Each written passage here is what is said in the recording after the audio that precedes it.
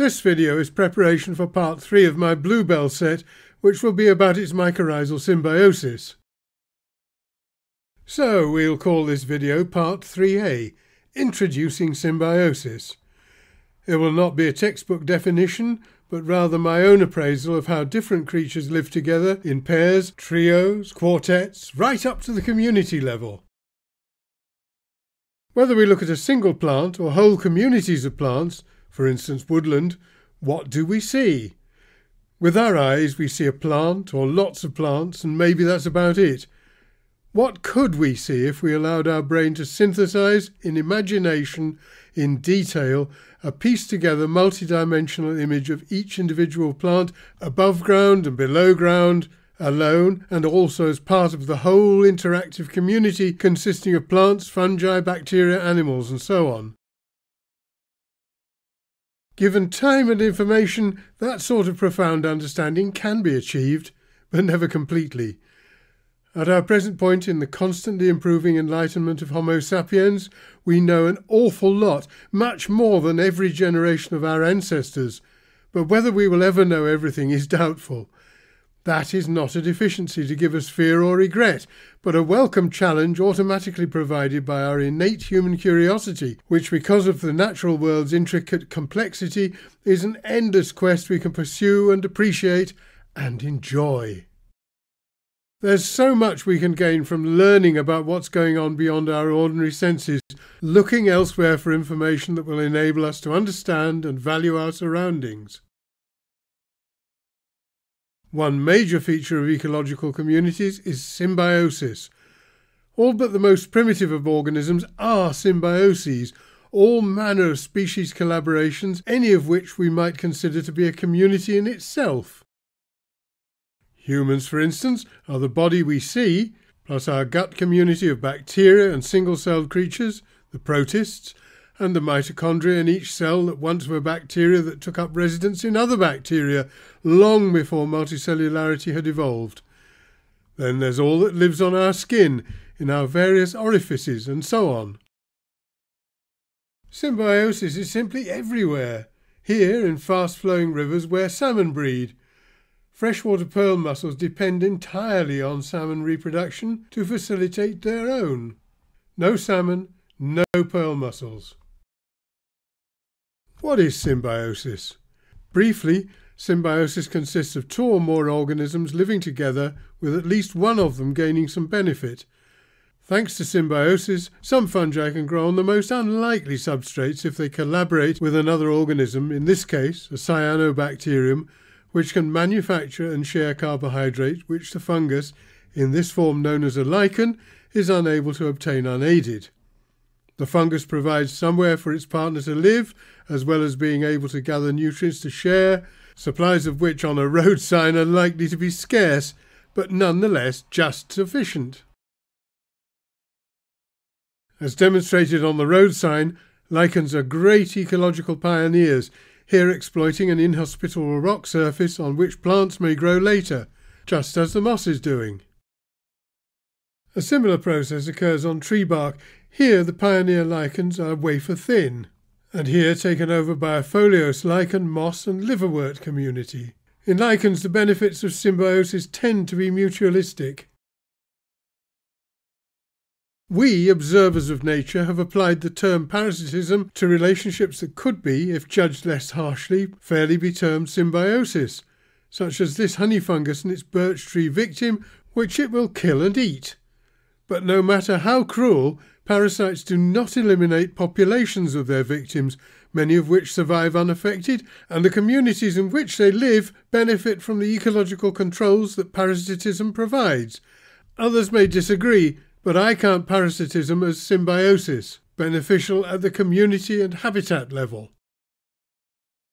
Here, to its benefit, the parasitic barnacle Sacculina has prevented this female crab from molting, enabling it to feed on its unfortunate host until it is done with her, while the opportunistic barnacles, because they won't be sloughed off during a routine molt, have the opportunity to remain on the crab's carapace and multiply.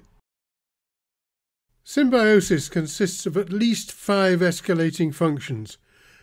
1. Interaction, living together. 2. Interdependence, partnership. 3. Iteration, repetition. 4. Intricacy, multiplicity and interweaving, and then the marvellous emergence of the complex communities we call ecosystems. In this example, a lion's mane jellyfish travelling upside down provides a protective environment for a shoal of little fishes, safe from predators among its stinging tentacles. The relationship may seem simple, but it is a mere component in the infinite complexity of the marine environment.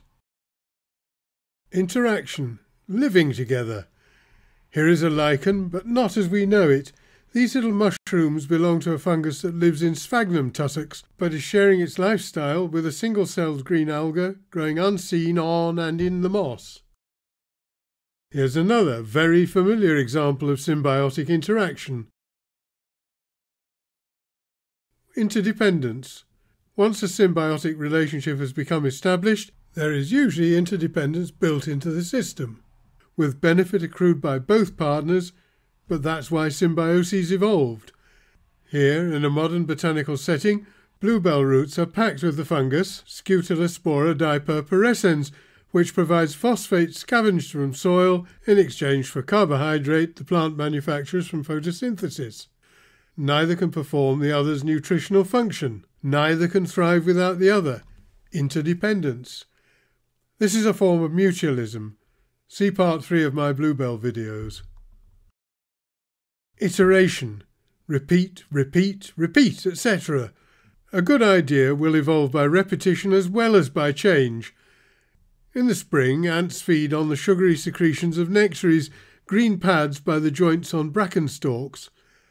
Early in their evolution, ferns and ants began to cooperate, and now, by iteration of the idea, many ants and plants do while the relationship has diversified. Intricacy symbiosis interwoven with others in intriguing but quite complicated combinations. The Indian pipe is a flowering plant with no chlorophyll, so it cannot produce its own carbohydrate as most other plants do. It forms a three way partnership below ground with forest trees and their mycorrhizal fungi. That we call mycoheterotrophy.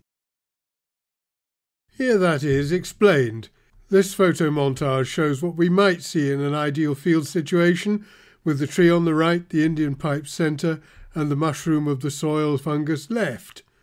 In reality, they will all be present, but aren't necessarily seen together like this. Let's dig down into the soil. The Indian pipe has no more than a cluster of stumpy roots attached to the mycelium of a soil fungus, which in its turn is attached to feeder roots of nearby trees. The fungus and the tree are associated as a mycorrhiza, one function of which is to supply the fungus with carbohydrate manufactured by the tree by photosynthesis. The fungus can't do this, and neither can the Achlorophyllous Indian pipes, so both receive a supply from the tree. Wikipedia and other online advisors may describe this relationship as parasitism, but no, emphatically no. It is a co evolved cooperation from which all three partners benefit and none is harmed. The non judgmental term mycoheterotrophy, meaning feeding via a fungus, is much more appropriate. Here is just one more escalation in the intricacy of symbiotic relationships mixotrophy. Like the pale achlorophyllous plants, the monotropa and others, the broad-leaved helleborine is plugged into a mycorrhiza of adjacent trees, here probably downy birch. But it's green and fully capable of producing its own carbohydrate by photosynthesis, but it grows in the deep shade of woodland. Its reliable, tree-donated carbohydrate supply enables it to grow where light and therefore its own photosynthesis are limited. Here are two more British orchids that live in a three-way symbiosis with trees and mycorrhizal fungi. One has chlorophyll and the other does not. By emergence, we are referring to the gradual development of complexity from initial states of simplicity.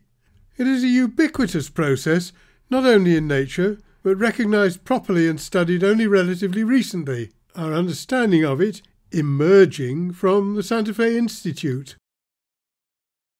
If we count a one-to-one symbiosis as simplicity, say of this mature oak and a root inhabiting fungus, then complexity emerges as the diversity of fungal species in the roots increases during the lifetime of the tree. Adjacent plants join the local community, many with their own different fungal associates, at least 11 with bluebells alone. And the next generation of trees, seen here surrounding the mother oak, all developing their own communities of root fungi, and so much more going on. that was a long and complicated sentence, unashamedly presented to describe a long and extremely complex ecological process. There is an endless supply of symbioses waiting to be discovered and described. Here's a possible candidate otters and the juvenile phase of palmate newts called efts. Otters routinely emerge from the sea to wash their fur in freshwater pools above high water mark. They give away their presence by depositing their spraint in habitual latrine areas, often next to wash pools, which become tussocky and bright green. The water of wash pools can become quite, shall we say, organic, an ideal habitat for microbes, suitable food for efts. So there might be a research project in the question is there a symbiotic relationship between otters and newts? Now that I've explained symbiosis as best as I can, please open the next video in this series, which is about the bluebell's relationships with soil fungi.